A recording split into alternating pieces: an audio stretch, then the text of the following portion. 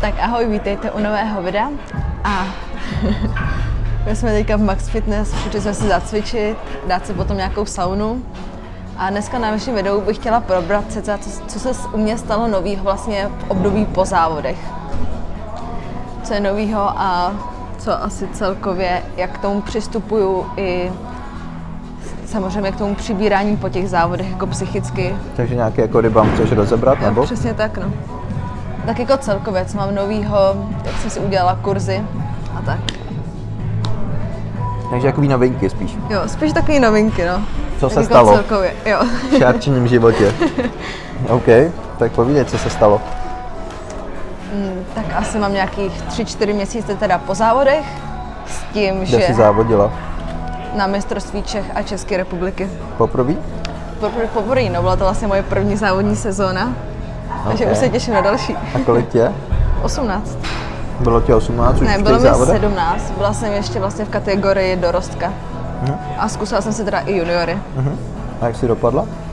Tak na mistrovství Čech, tam jsem byla první v dorostech, v juniorech, jo, tam jsem byla ani nevím, třetí, čtvrtá. OK. A na mistrovství Čech, tak tam jsem byla, tam jsem byla třetí a čtvrtá. Juniorka, čtvrtá. Čtvrtá v juniorkách a třetí v dorostech. To je dobrý, co? na, to, na takový mladý kuře. Super. Na OK. to jsem cvičila rok.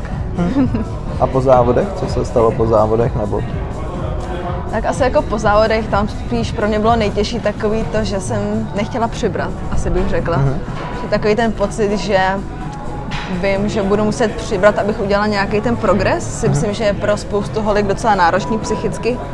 Když potom vlastně vidíš, jak se tvoje tělo jako mění, ale asi, protože mám vlastně od závodu 7 kg nahoře teďka, no. No to je docela v pohodě asi, nebo, nebo je to blbý? Hele, mě to, ne, jako z začátku mi to přišlo takový, že jsem si měla problém, že jsem se nechtěla taky to rozjíst, bála jsem se trošičku toho jídla, jako... A nemají ty holky spíš naopak, že se začnou jako přežírat po závodech? Asi jak která. Řekla bych, že je to hrozně individuální. Buď to je takový ten právě ten opak, že se hrozně začnou přejídat, přiberou, já nevím, mnohem horší, 10-15 než, kilo. Než to, že se bojí jídla.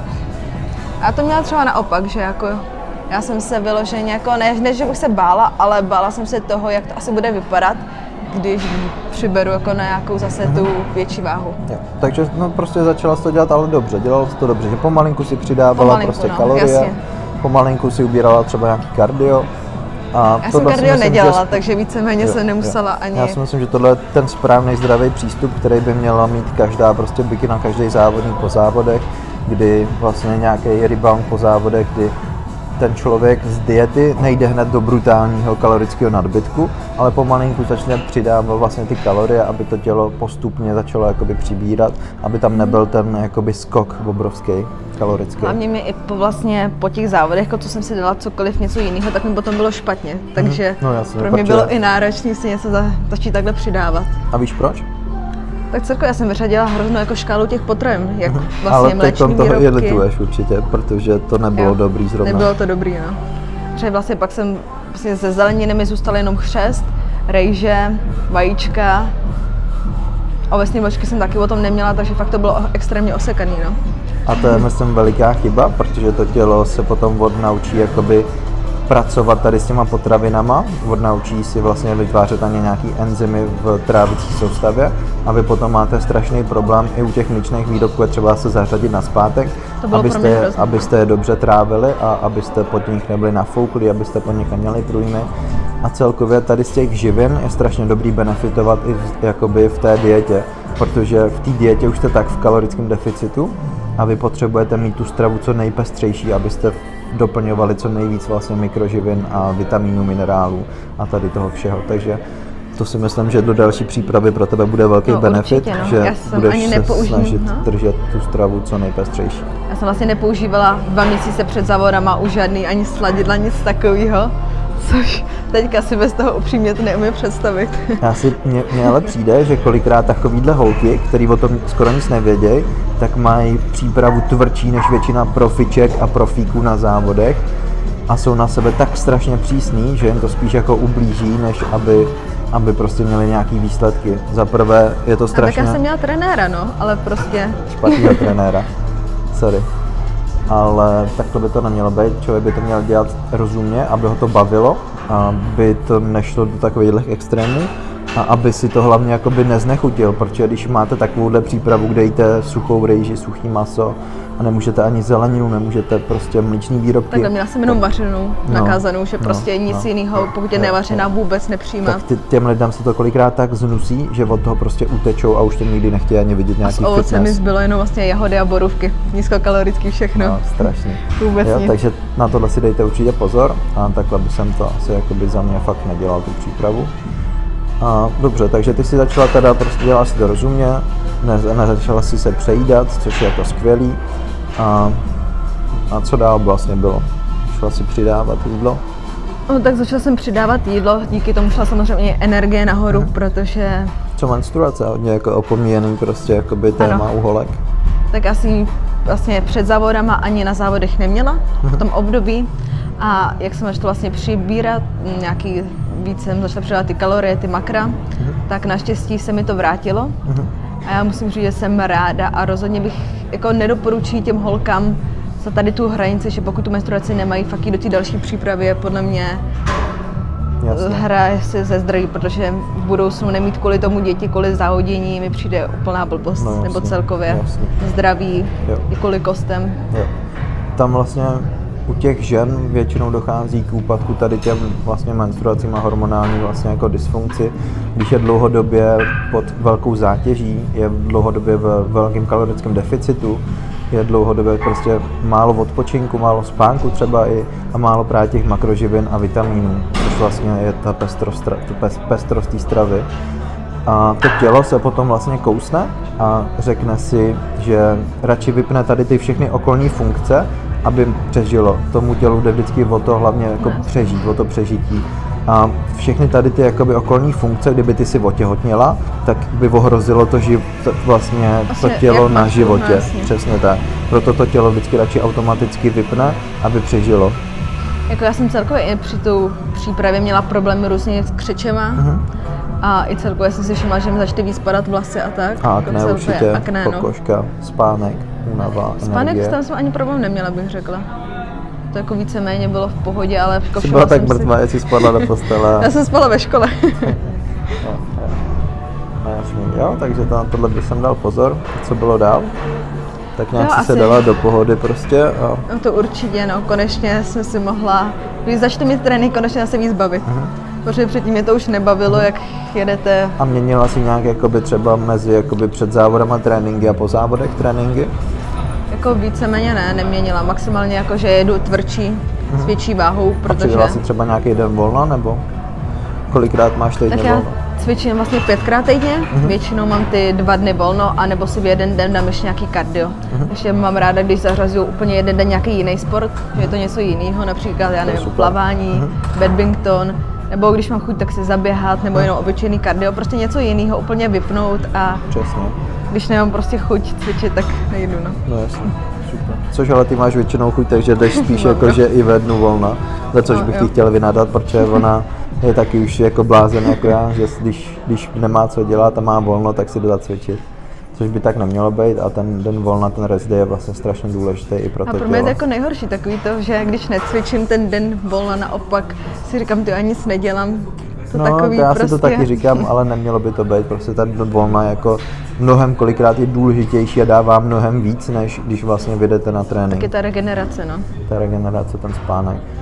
I vlastně, když vy dlouhodobě moc trénujete, tak potom ten odpočinek a ten spánek není tak jako tvrdý. Když vy si dáte den volna, tak potom dnu volna se krásně vyspíte, zregenerujete všechno. Takže už i s tím spánkem a tady s tou vlastně regenerací je to dost spojený. Takže na to pozor.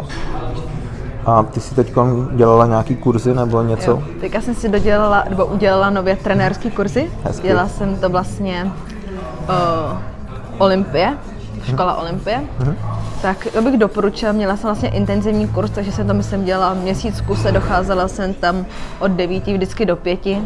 Měli jsme to rozdělený různě a musím říct, že to bylo moc fajn. Ale musíš říct, že taky byly prázdniny. Byly prázdniny, Asi si nemůže jako člověk dovolit takhle, když má školu nebo práci, jako měsíc v kuse chodit každý den. No jasně, no. Tak oni to většinou dějí o těch prázdninách, nebo hmm. jsou taky ty víkendový, ale tím já jsem to chtěla mít rychle hotový a potom nemít zabitý během, když mám tu školu, tak mít zabitý každý ten víkend tím kurzem, tak to jsem se radši zvolila. Tak právě to- tam docházet jo, takhle každý den. Okay. Kolik to stálo, nebo co to obnášelo? Ty samotný kurz, tam jsem si zvolit nějak, několik certifikátů, já jsem si vzala všechny. A za každý certifikát se myslím připlácí nějaká tisíc korun navíc. Takže dohromady mě to stalo asi kolem 15 tisíc. Plus jsem platila různé ty knížky jako anatomii a tak. Takže celkově se mi to vyšpahlo na nějakých třeba 18-19. No. Tak to musíš Takže není to hodně trénovat, aby se ti to vrátilo. Není to levná záležitost, ale zase načerpala jsem spoustu nových zkušeností a stálo by to určitě za to. Přesně, kdy člověk se dozví prostě do hloubky, jak vypadá anatomie člověka, ty svaly, jak pracují, kde se upínají, co vykonávají za funkci. O, všechno ohledně jako biochemie té stravy a těch vitamínů, minerálů, všeho, takže Ta pokud výševa byla celkově jako zajímavá, jsme tam měli. Je to dobrá investice, je do budoucna, tohle máš vlastně už do konce života. A můžeš vlastně si teď na to otevřít živnost a jít normálně cvičit a trénovat lidi do posilovny, anebo prostě i jako já už jako dlouhodobě mám online coaching si rozjet prostě své závodníky a připravovat je, pomáhat jim vlastně jakoby s nějakou stravou, tréninkem, jídelníčkama a tady, tady s tím vším. Samozřejmě to chce jakoby nejdřív sbírat i ty zkušenosti vlastně z toho No, reálního života, nejenom to, co vás naučili ve škole, protože mnohdy To je asi to nejdůležitější, bych řekla, taková ta praxe. Přesně, úplně jakoby realita jiná, než co vás učí z stoletých knížek. No a co bude dál? Teď ještě studuješ teda nějak, nebo? Jo, teďka pořád studuju, mám vlastně tenhle rok maturuju, Mhm. takže kvůli tomu asi nepůjdu ani jakoby do přípravy na závody, To protože se nechci být v dietě a do toho maturovat, nevím, jak bych to dávala, To protože taky tam bych nechci, byla protože to, je- to nevím, jak bych potom dával já, já bych dostával hrozný čouda, protože bude nervózní z toho, jak se bude učit na maturitu a pak ještě kdyby, ještě kdyby dietovala, tak chudák já. Jo, to by byl masakr. No, to by bylo hrozný. Takže nejdřív jedno a pak až druhý. A tak jako si myslím, že mi to neuteče. No přesně tak. času mám dost, jsem teprve mladoučka, 18. Můžeš udělat pořádný progres a teď stejně jdeš mezi juniorky už ne příští rok. Příští rok půjdu Takže juniorky, tam není kam chvátat, tam spíš potřeba udělat nejdřív pořádný Taky progres, progres, no. abys mohla konkurovat 23 letým holkám, který už jsou prostě vyzrálejší, zkušenější, To určitě, ten posing a všechno tohle sladit dohromady. A hledáš třeba i nějakého trenéra, nebo takhle jako koukáš po někom?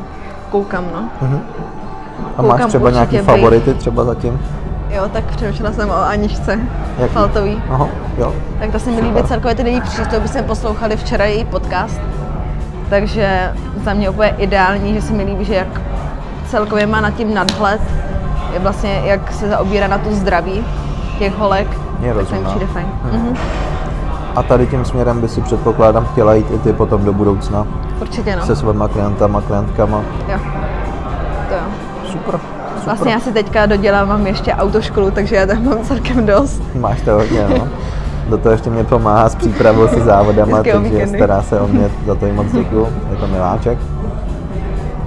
A já tu budu pro ní příští rok, když ona vlastně bude maturovat a potom půjde třeba na podzim nějaký závody, tak zase já budu jezdit s ní a budu se starat o ní, aby měla maximální péči. A ještě No. taková novinka, co asi mám, tak na to se těším, určitě budu natáčet, takže za necelý tři týdny, za tři týdny odjíždím na téměř měsíc do Větnamu. Hezky. Takže přijedeš a budeš mít oči takhle. Jo, A, rej, moc, moc rejže. a, rej, a rejže ti bude trčet z vlasů. Tak rejžíme i tak hodně. jo, no. To nebude žádná novinka. Aha. No, tak super, super. Také děkuju, že, že jsi mi takhle vyspovídal No, jasně. takový videjko. Jasně. Doufám, že se vám video líbilo. Ještě kdyby vás něco třeba zajímalo, nebo kde se nějaký nápad, co natočit, tak budu ráda, když to mi napíšete do komentářů, nebo i na Instagram klidně. A pokud se vám video líbilo, tak můžete dát odběr nebo like a Určitě. uvidíme se u dalšího videa. Těšit se na další video. Super. Paráda. Ahoj. Mějte se, čau. Čau.